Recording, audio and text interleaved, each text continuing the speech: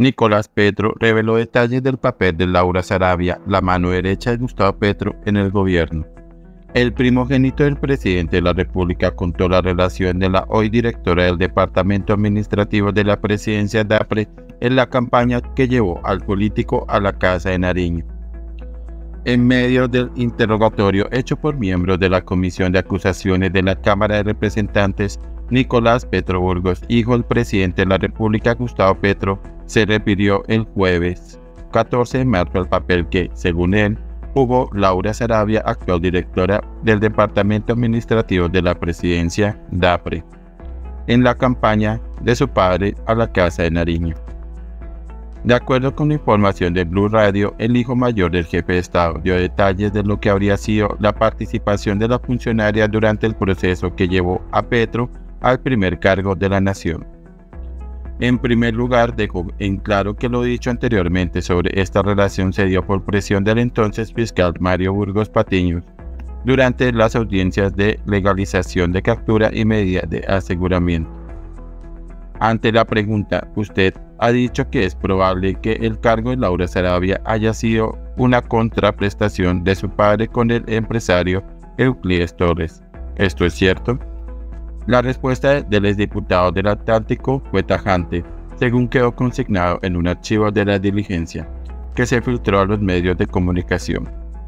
E hizo mención también al rol del hoy embajador de Colombia ante la FAO, Armando Benedetti.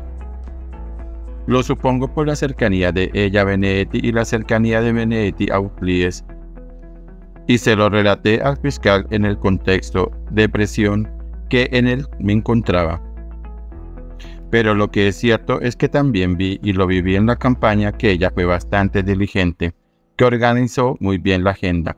Afirmó Petro en primer lugar, aunque su respuesta también fue enfático en indicar qué participación tenía el diplomático.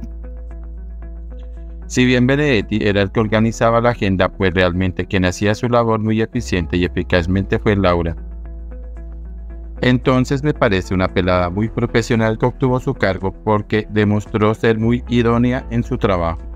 Ella se lo ganó por mérito propio. Agregó el hijo mayor de Gustavo Petro en relación con lo que pudo, según él, percibir en esta dinámica de trabajo dentro de la campaña. Nicolás Petro reculó en lo dicho sobre Laura Sarabia, esta versión de Petro Burgos contrasta con la que había entregado a la Fiscalía General de la Nación el 2 de agosto de 2023, cuando aceptó someterse a un interrogatorio luego de anunciar que iba a colaborar con la justicia, de acuerdo con su testimonio, para que su bebé Lucas Samuel, fruto de la relación con Laura Ojeda, pudiera crecer con su padre a su lado.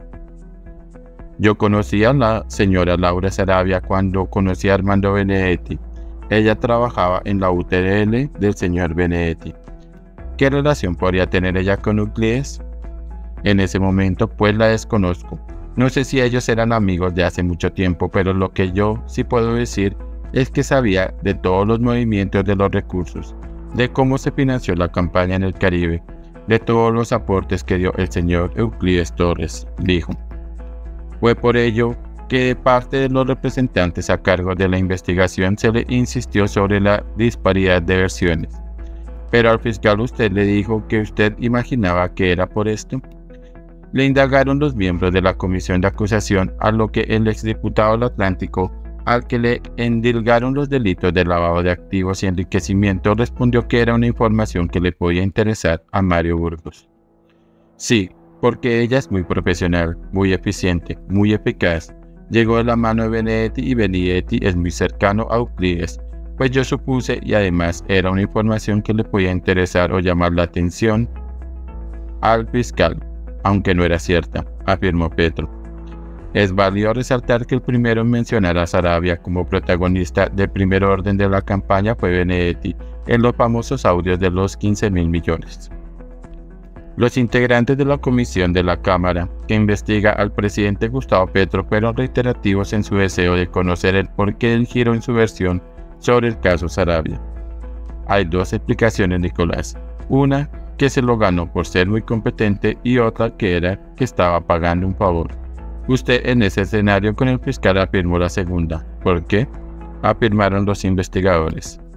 Dije lo que él quería escuchar, de la versión que más le servía a la fiscalía, repitió Petro Burgos con lo que no quiso ahondar más en este sentido.